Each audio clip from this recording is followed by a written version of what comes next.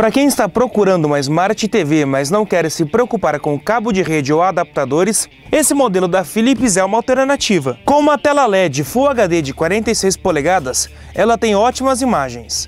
A taxa de atualização de 360 Hz e o brilho ajudam bastante.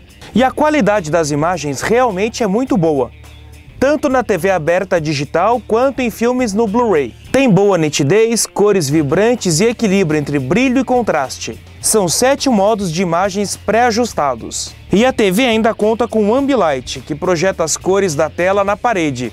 Já o 3D decepciona. Não dá para mostrar aqui no vídeo, mas notamos alguns vultos ao redor das imagens, e o efeito de profundidade é fraco.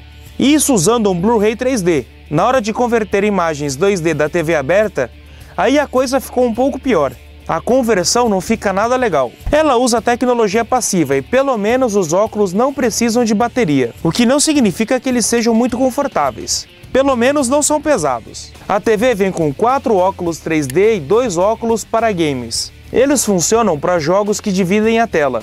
Cada jogador vê apenas o seu lado da tela. Nesse caso, a imagem fica menor e distorcida, fora de proporção. Já o áudio tem boa potência, são seis modos pré-definidos.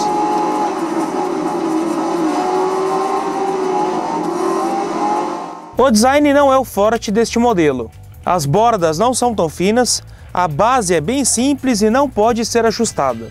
Pelo menos fina ela é, com apenas 2,6 centímetros de espessura. Por ser uma TV grande, esperamos que ela tenha muitas conexões. E ela tem 3 HDMIs, 2 USBs, vídeo composto e vídeo componente que compartilham o mesmo conector, coaxial para antena, entrada de rede, P2 para fone de ouvido e VGA. Além disso, a TV já conta com Wi-Fi embutido. Através da entrada USB dá para reproduzir diversos formatos de arquivos de fotos, músicas e vídeos. Tivemos problemas com arquivos MKV, o áudio de alguns deles não funcionou. Também dá para gravar a programação da TV aberta com um HD externo. Com essa TV é possível consumir conteúdo online. Dá para atualizar status no Facebook, ler notícias, ver vídeos no YouTube e no Netflix. Também dá para navegar na internet com um browser. Funcionar funciona, mas os menus são lentos. Aliás, tudo é lento nessa TV. Ligar a TV demora, trocar de canal demora, aumentar e diminuir o volume também demora. Os menus são complicados e é difícil achar a opção desejada. O controle remoto é confortável, mas não possui retroiluminação. E se você quiser, dá para ligar um teclado e mouse no USB. Dá também para usar o seu smartphone com o aplicativo Philips My Remote.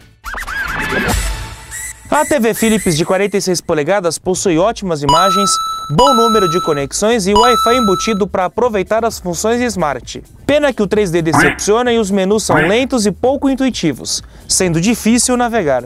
Para mais informações, clique no link que está aqui na descrição do vídeo.